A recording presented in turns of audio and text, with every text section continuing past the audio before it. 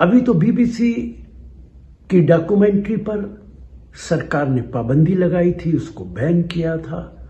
और अब डॉक्यूमेंट्री बनाने की सजा दी जा रही है। भारत सरकार ने पूरे देश और पूरी दुनिया को यह मैसेज दे दिया है कि जो भी भारत सरकार और प्रधानमंत्री के खिलाफ बोलेगा, उसके खिलाफ सख्त कार्रवाई की जाएगी। इसी का नतीजा है कि बीबीसी पर यह इनकम टैक्स के छापे पड़ रहे हैं।